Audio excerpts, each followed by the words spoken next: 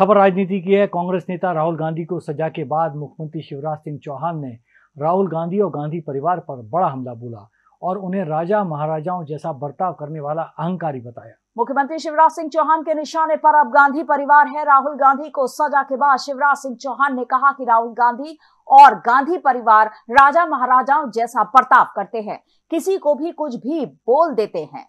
इसका इतिहास उठा के देखा जा सकता है। ये गांधी अहंकारी हैं।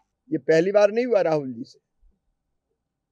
2019 के मामले में तो उनको सजा सुनाई गई है। इसके पहले भी वो माफ़ी मांग चुके हैं।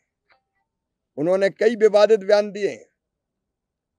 झाबुआ में भी उन्होंने बयान दिया था कि उस पर भी अभी कोर्ट में मुकदमा चल रहा है। मैं हमेशा कहता हूँ कि वो गैर जिम्मेदार है वो अपरिपक्व है और अपरिपक्व ही नहीं। वो इतने झूठे और अमर्यादित है कि कहीं भी कुछ भी कह देते उन... यार Ajay look at your dad हम इस उम्र में ऐसे रहेंगे क्या? बिल्कुल रहेंगे।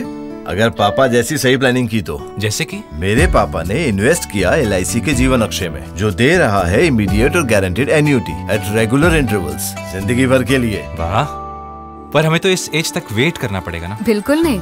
हमने तो अभी इन्वेस्ट किया है LIC के न्यू जीवन शांति में जो हमें देगा डिफर्ड एन्यूटी मतलब कुछ साल बाद से regular income L I C L I C L I C annuity plan they annuity option और नियमित इनकम पाने में फ्लेक्सिबिलिटी भी। एल आई सी हर पल आपके साथ। वो खबरें जो आपके काम की है। वो खबरें जो आपके लिए ज़रूरी है। हर आम और खास से जुड़े मसले। हर मसले का सटीक विश्लेषण। हम करते हैं सत्य का अन्वेषण। दखल न्यूज़। आपके हक में। आप देख रहे हैं दखल न्यूज़।